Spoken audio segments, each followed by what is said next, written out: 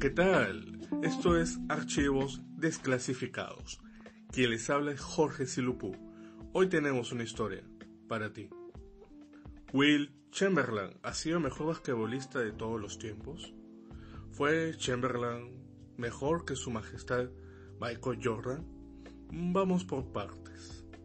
La mayoría de los récords personales de Will Chamberlain no han sido siquiera igualados por ningún jugador de la NBA. Tiene más de 71 récords personales, imbatibles.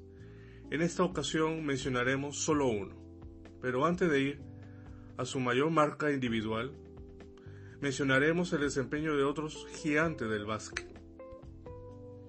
La popular estrella de Los Ángeles Lakers, el desaparecido Kobe Bryant, hizo el 22 de enero de 2006 un total de 81 puntos en un solo encuentro contra los Toronto Raptors, superando así los 73 puntos que hizo hace décadas David Thompson con los Denver Nuggets o los 71 que hiciera David Robinson con los San Antonio Spurs o los 69 de Michael Jordan o los 61 que hiciera el año pasado LeBron James.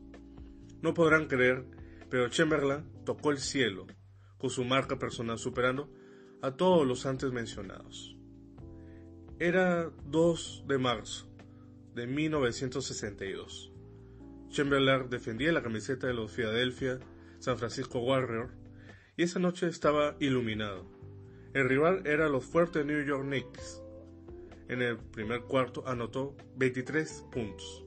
El segundo hizo 18 puntos. Ojo, antes del tercer cuarto, Chamberlain ya tenía 41 puntos en el bolsillo. Sin descansar bien, logra en el tercer cuarto 28 puntos. Es decir, Chamberlain ya sumaba 69 puntos antes del último cuarto.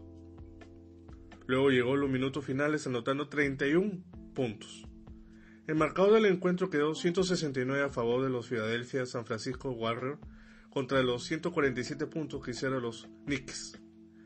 Sumando solo los puntos de Chamberlain, hizo un total de 100 puntos en un solo partido. Sí, 100 puntos en un solo partido. Increíble.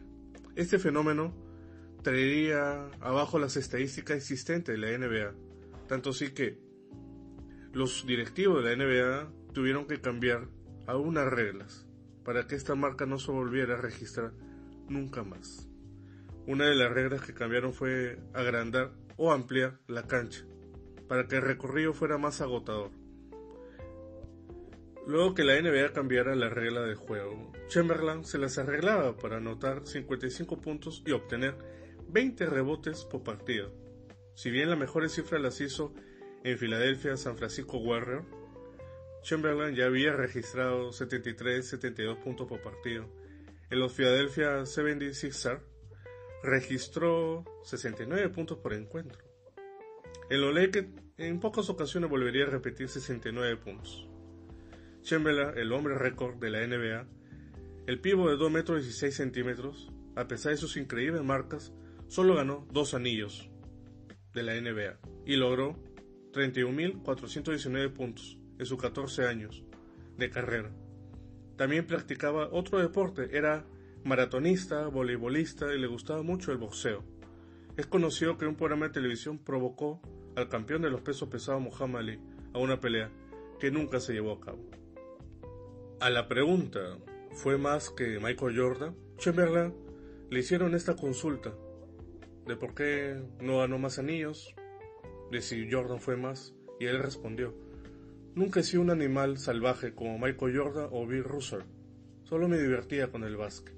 Si hubiera sido más ambicioso, tendría más anillos. Si llegaste hasta acá, te invito a darle me gusta, a compartir este contenido con tus amistades. Recibe un fuerte abrazo, quédate en casa, por favor. Muchas gracias.